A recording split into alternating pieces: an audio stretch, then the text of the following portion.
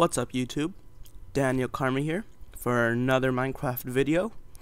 Today I am coming with a special tutorial on how to make spheres and globes and all sorts of round shapes in Minecraft. So let me get started with the first step which is actually I should be going to sleep just so we can skip the night. Let me get rid of that uh, get a bed. Uh, there are already a few existing methods for how to make spheres and round shapes, but the problem with that is they mainly apply to spheres, and if you want to apply to an egg shape or an ellipse or, or eclipse, I don't know how it's pronounced, or something like that, they usually don't work. And so that method is what I call the layered method. But now I'm going to show you a method that I use and that I came up with and it gets the same job done faster, easier, and best of all, you can make all kinds of shapes with it.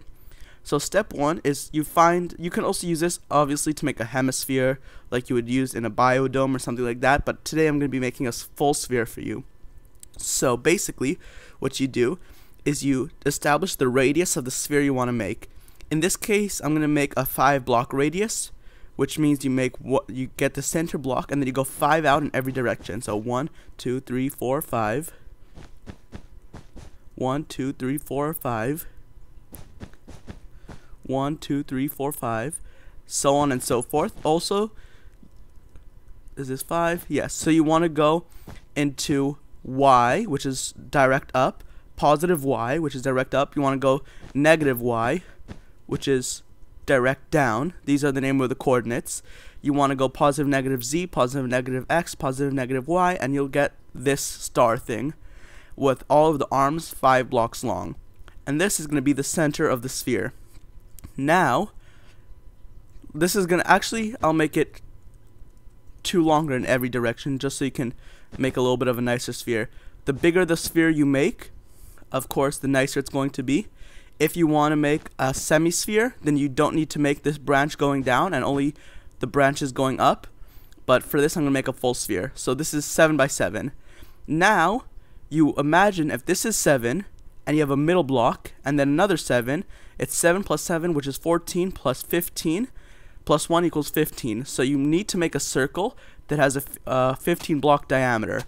So this is where planning on the floor comes in. So go 1, 2, 3, 4, 5, 6, 7, 8, 9, 10, 1, 2, 3, 4, 5. And now go to the middle and do the same thing. 1, 2, 3, 4, 5, 6, 7. And 7 here. 1, 2, 3, 4, 5, 6, 7. So this is basically a slice out of the middle on the floor.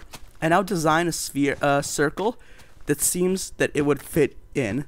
So use a combination of two blocks long and three blocks long as long as it looks more or less like a circle. So I'm just going to go with this simple design here. Here it's two blocks long, two blocks long, one block, two blocks long, and two blocks long. Same two, two, one, two, two. And if I fly up, that looks like a pretty good circle. Now what you have to do is make the framework for this. So the reason I'm using wool is because wool is a great material if you want to make a kind of airship balloon or a sail, which is huge, a good a good reason to use a sphere. So now that you have this, and when you're happy with your circle, so this looks pretty good, you apply the same thing here. Two, two, and then you break this block here, so that way it comes on the nice corner. One, two, two, and it'll match up. Break these, and then you do the same all around. So two, two, one, two, two, break the edges so it's all nice and smooth.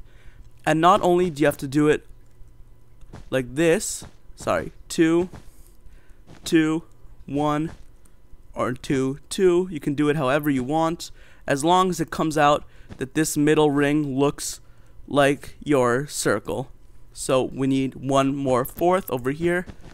Two, two, one, two, two, break the edges. and as you can see it looks pretty good. Now you have to now that you finished the flat surface you need to do the same thing going here. So two two one two two. Break the edges so as you can see it works here and since all of these arms are seven blocks long it will all work out if you made it correct if you did not make it correctly then you have to make sure that all of the blocks on your star are the same length.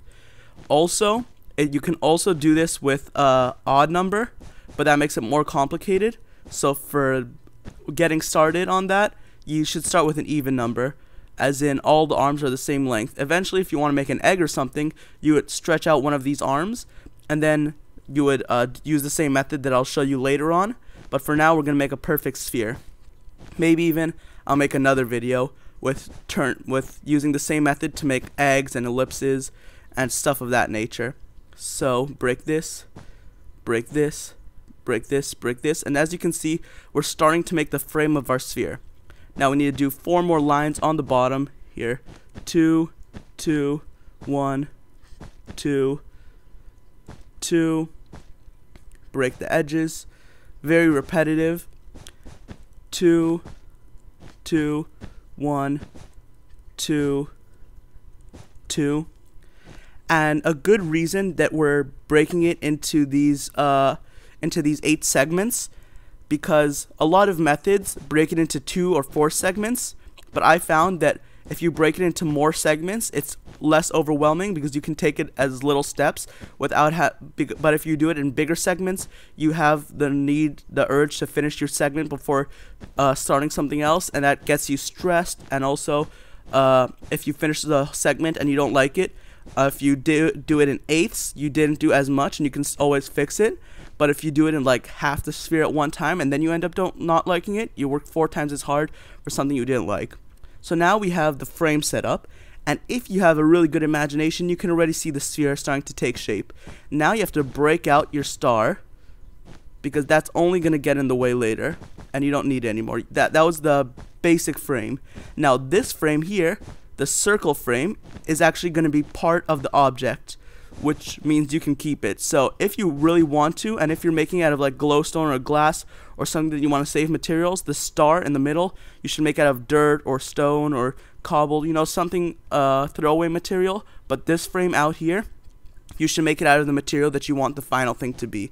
Except for these edges here, since you're going to break, you can also make them out of dirt, but that just gets irritating switching, switching between the blocks all the time. So now we have this frame here. This circle here you can disregard. We're not going to use that anymore. Now you find the length of the first little bit that comes off. So in, uh, excluding this middle block here, the first bit that comes off is two blocks long.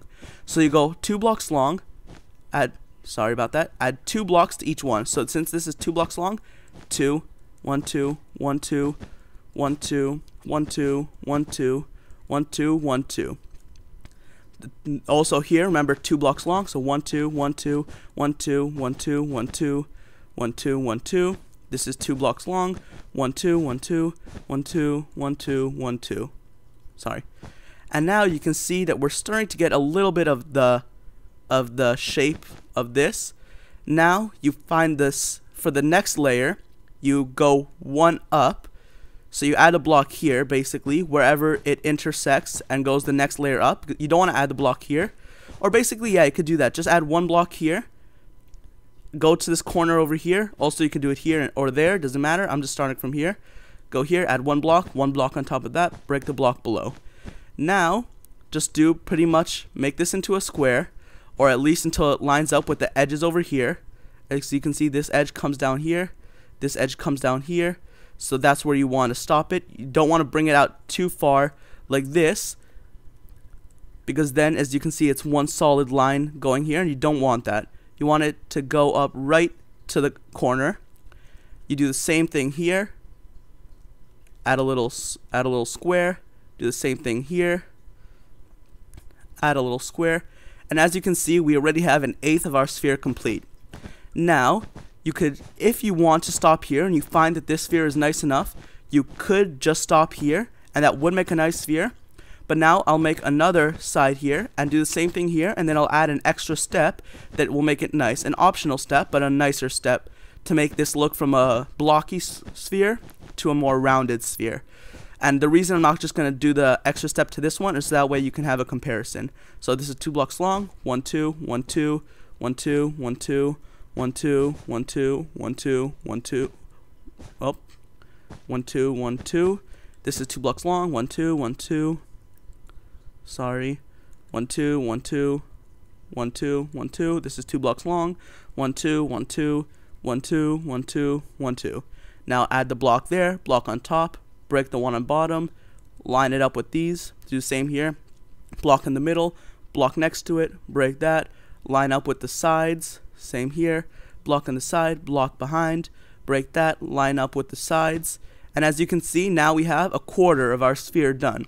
However, now I'm going to show you an extra step that you can do to these blocks here to make it nicer. So, now, go to all the hard edges.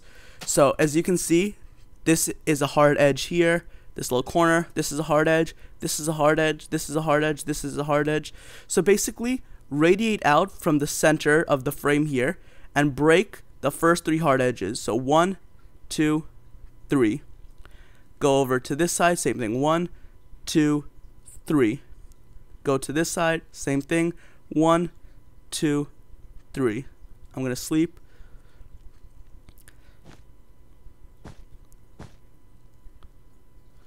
So let's go back. You see you broke the three over there.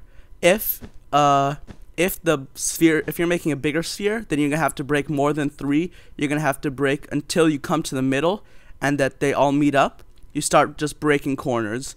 So now that you broke the corners, go to the inside of the sphere and fill in the corner so that from the inside so that you don't see it. So one, two, three, just so there's no hole. Go same here. One, two, three, so there's no hole. Same on the bottom. One, two, three. If you go back outside, you can see it's getting a more rounded shape. Now, go one layer further in. So as you can see here, three hard edges. Break the three hard edges in the middle. Go into that little hole, cover it up from the inside. Don't cover it up from the outside. We're just going to undo breaking the hard edges. And now this is a much more rounded sphere.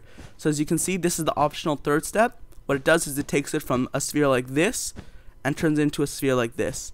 So as you can see, it's much more rounded, much nicer, and if you have a big circle, it makes it much better. So as you can see, it's pretty easy. Break those three, break those three, break those three, go to the middle, fill them in, one, two, three, one, two, three, one, two, three.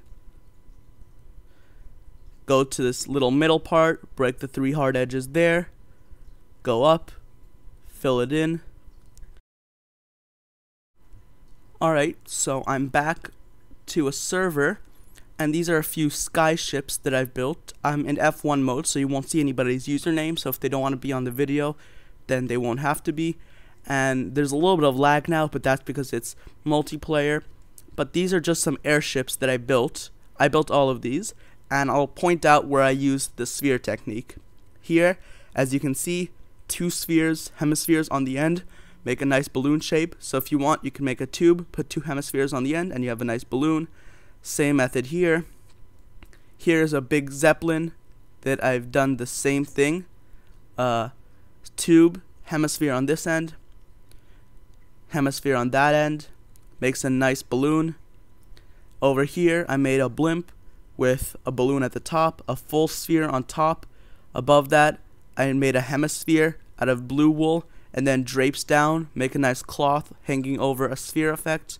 If I go over here, you can see I've made this uh, kind of like submarine that flies type ship. Um, the circle here in the middle is a full sphere Half of the sphere is made of blue wool, half the sphere is made of glass. This wood here was the frame. This glowstone here was the frame. If I go up here to my UFO, you can see I have a hemisphere made of glass using all of the same techniques that I showed you today. So it's pretty obvious how useful these techniques are when you're building.